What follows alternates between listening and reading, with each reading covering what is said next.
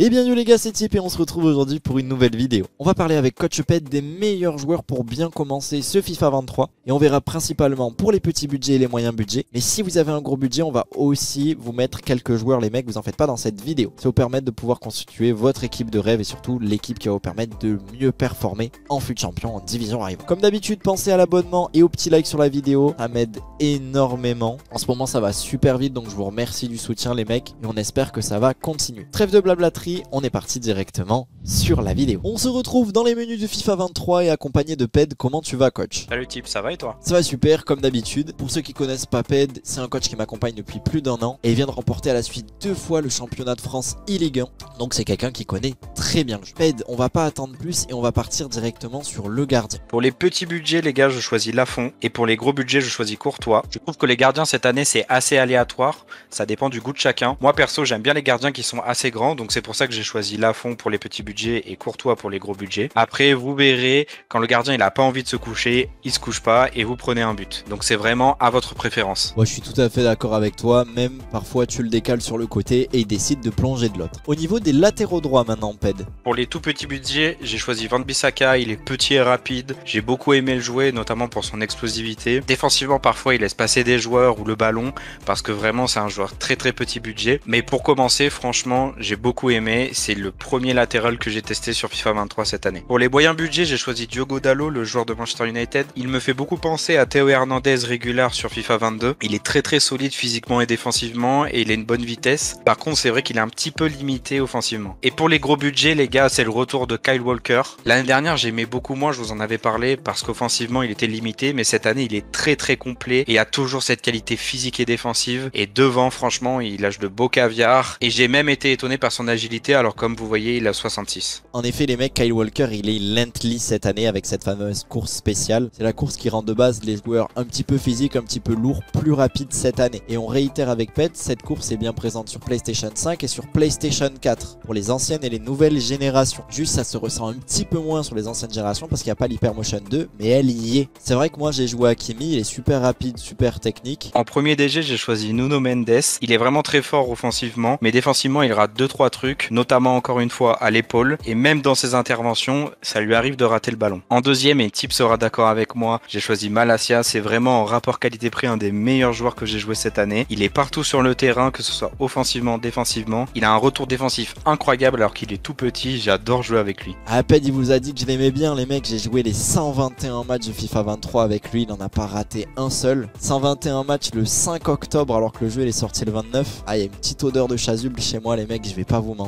quand même. Et il est vraiment trop trop fort. Pour les gros budgets, j'ai choisi Ferland Mendy qui lui aussi est lenti si vous le mettez architecte. On retrouve vraiment le Ferland Mendy de FIFA 21 pour ceux qui l'ont joué. Il est partout sur le terrain. Il est quand même beaucoup plus consistant que Malasia, surtout offensivement. Et défensivement, c'est un rock. On passe à présent aux défenseurs centraux. Le premier, on vous l'a déjà présenté, c'est Arojo, le joueur de Barcelone. Super physique et très rapide. Vous allez vraiment kiffer. Il vaut absolument rien sur le marché. Ensuite, on vous a choisi Lacroix, qui est un super défenseur. C'est une petite surprise. Et en plus, il joue en Bundes. C'est assez original pour certains. Je pense que c'est le défenseur le plus rapide que j'ai essayé. Parfois, il a quelques manquements défensifs, comme pour tous les défenseurs qui sont dans cet ordre de prix. Mais franchement, c'est très satisfaisant si vous n'avez pas beaucoup de crédit. Moi, perso, je compte le faire rentrer en prolongation ce week-end en fut champ parce que lui, il rattrape tous les attaquants. Et oubliez pas que vous avez 5 changements à présent. En troisième, j'ai choisi Akanji, c'est le DC que j'ai le plus joué dans le jeu. Il est vraiment très complet, il est très propre dans ses interventions. Physiquement, il tient la route, la rapidité, c'est pas mal, mais c'est clairement pas le plus rapide que j'ai joué. J'ai beaucoup aimé aussi sa qualité de relance, vous pouvez voir ses stats, que ce soit en jeu court ou en jeu long, il répond présent. Vous pouvez voir qu'il a 4 de mauvais pieds, ce qui est assez rare pour un DC. Et en quatrième, je vous ai choisi Ruben Diaz, c'est vraiment une bonne surprise pour moi. Généralement, c'est un joueur qu'on enterre très vite, notamment à cause de sa vitesse. Mais avec la course Lently, ça devient vraiment un des meilleurs défenseurs à 20 000 crédits. C'est un des meilleurs DC statistiquement parlant en défense et en physique. Mais là, du coup, vous pouvez le jouer dès le début du jeu et je trouve ça super intéressant.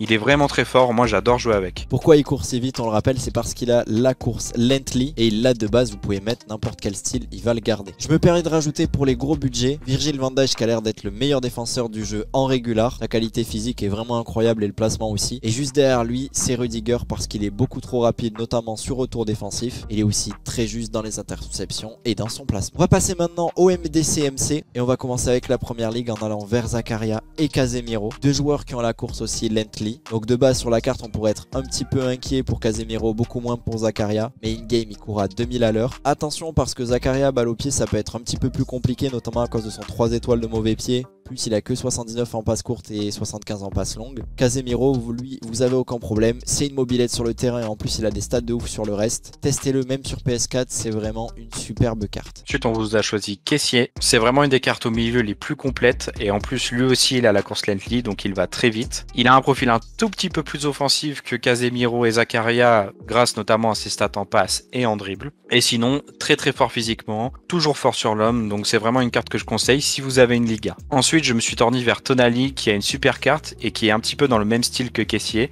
c'est-à-dire très complet, un tout petit peu moins défensif que Casemiro et Zachary encore une fois, mais devant, il a une super qualité de passe. Et enfin, dans un profil vraiment plus offensif, moi j'ai choisi Pedri. J'ai joué avec lui, sa qualité de dribble est incroyable, mais aussi sa qualité de passe. Vraiment pour remonter le ballon et organiser le jeu, c'est un pur plaisir. Je comprends les avis positifs qu'il y a dessus. Attention cependant, physiquement, on sent des fois qu'il est un petit peu léger aussi à cause de sa taille. Le dernier, mais lui, il y a toujours un petit peu débat c'est Renato Sanchez. Il est super fort cette année. J'ai choisi Renato Sanchez parce que dès que je joue face à moi, et je pense que c'est pareil pour vous, il vous récupère un nombre incalculable de ballons et vous avez l'impression de le voir partout. Cependant, attention parce qu'il a toujours ce gros défaut en passe. Et des fois, pour organiser le jeu ou donner des ballons qui sont plutôt simples, il arrive un petit peu à mal les donner. Je comprends pas trop pourquoi et Ped est assez d'accord là-dessus. On passe maintenant au MG AG. Danjuma pour commencer, que j'adore et qui est vraiment pas cher. Il a une très bonne explosivité. Son plus gros point fort, les gars, c'est sa finition.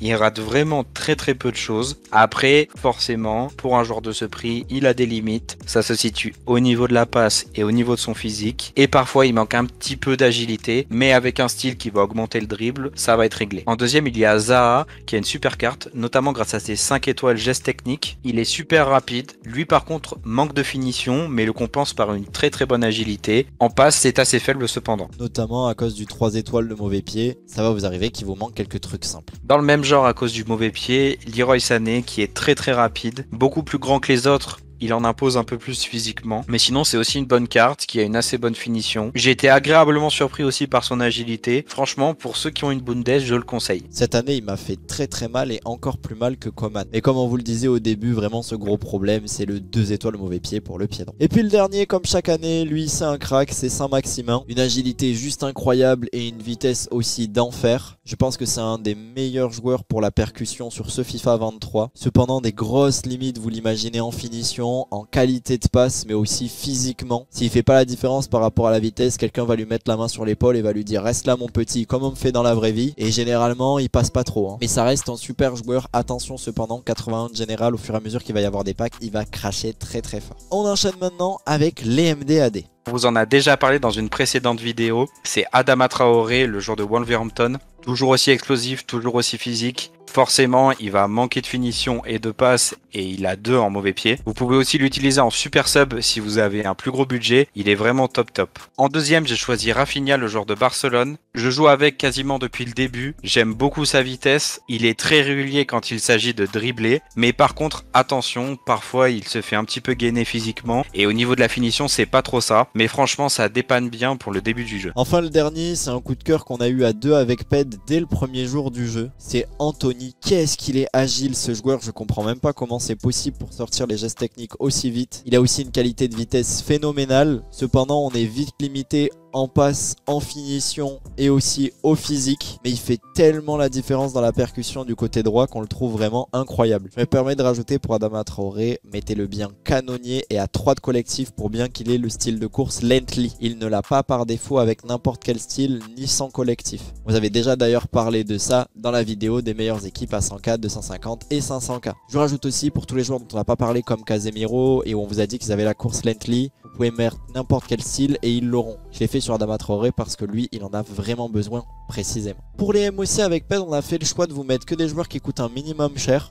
Pourquoi? Parce que c'est un poste qui est trop important et ça demande trop de qualité. Technique, passe, finition, placement, vitesse, agilité. Il faut vraiment des bonnes cartes. Et pour ça, il n'y a pas le choix, il faut mettre la main au porte-monnaie. Et on commence notamment en premier avec Nabil Fekir. Il sait absolument tout faire. Le tir, il est vraiment top. Il m'a mis des buts trop importants à des moments dans des matchs, dans des angles plutôt compliqués. La passe, elle est très bonne. La qualité de dribble aussi, il sort très vite les gestes. Niveau physique, ça va, mais bon, hein, c'est pas non plus un videur de boîte de nuit, on va pas se mentir. Ce qui peut gêner, c'est un tout petit peu sa vitesse sur une course dans le dos notamment. 88 d'accélération, il est très rapide sur les premiers pas, mais il a plus de mal sur une course longue avec ce 79. Pour le deuxième, on a choisi Christopher Nkoukou. C'est vraiment une super surprise. Il a déjà une vraie teneur dans le jeu, contrairement à l'année dernière où il avait besoin de plusieurs boosts. C'est un de mes MOC préférés parce qu'il a beaucoup de qualité. Déjà, il a 5 étoiles geste technique cette année. On ressent peu son 3 étoiles de mauvais pied. Sinon, il est très agile. Il a une très bonne qualité de passe. En finition, comme vous pouvez voir, il a 86, donc ça tient bien route. Et étonnamment, physiquement, je trouve quand même qu'il est pas mauvais. Sûrement, c'est dû à son body type. Seul bémol, j'ai mis très peu de tirs de loin avec, et c'est parfois ce qu'on attend avec un MOC. Le body type, pour ceux pour qui c'est pas clair, c'est la morphologie propre au joueur. Chaque joueur a un petit peu sa morphologie, comme dans la vraie vie. Erling Haaland, il est hyper costaud et hyper fort. Neymar, c'est une anguille. Dès qu'il prend un coup, il absorbe et il repart comparé à d'autres joueurs.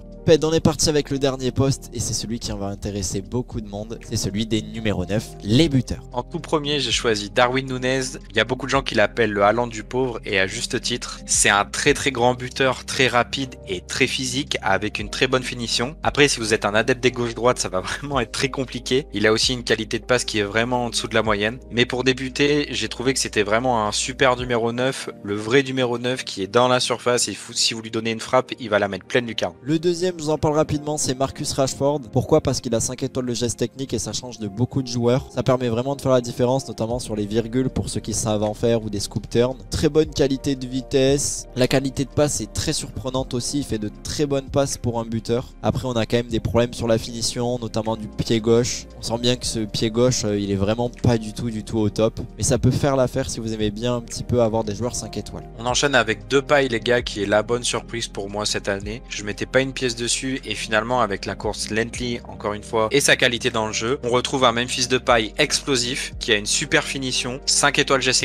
encore une fois, très très agile, une qualité de passe tout à fait correcte. Parfois il se fait un petit peu bouger physiquement mais franchement je l'aime bien jouer avec. Pour l'avoir avec le style de course Lentley, on met bien architecte à Memphis de paille. Ça va lui permettre d'obtenir un plus 15 en force ici en bas à droite et il faut un écart de plus 15 entre l'agilité et la force. Donc on le met aussi à 3 de collectif pour qu'il puisse avoir ça. Ça fera plus 18. Quitte à prendre un attaquant 5 étoiles, je préfère prendre de paille à Rashford. On vous a choisi aussi Ben Yedder, toujours les mêmes qualités chez Ben Yedder, explosif, très bonne finition et très agile. Forcément, si vous cherchez un attaquant physique, c'est pas vers lui que vous allez vous tourner. Il manque encore un petit peu de constance parfois, mais je pense que dès qu'il va commencer à enchaîner les buts dans la vraie vie, on aura des cartes spéciales et il sera très très fort. Le 5 étoiles au mauvais pied fait notamment trop la différence sur lui en début de jeu. Forcément, on n'a pas oublié le meilleur joueur du monde de la saison dernière, Karim Benzema. Encore une fois, grâce à la courte Lenti, Benzema cette année, c'est un vrai banger. J'adore jouer avec, il peut jouer 9, il peut jouer 10, on vous l'a pas mis parce que ça reste quand même un meilleur buteur qu'un numéro 10. Il peut jouer aussi à 9,5, ceux qui aiment jouer avec cette tactique. C'est vraiment un des joueurs les plus complets devant. Il manque un petit peu de constance sur son mauvais pied étonnamment, mais sinon il est vraiment complet, très physique,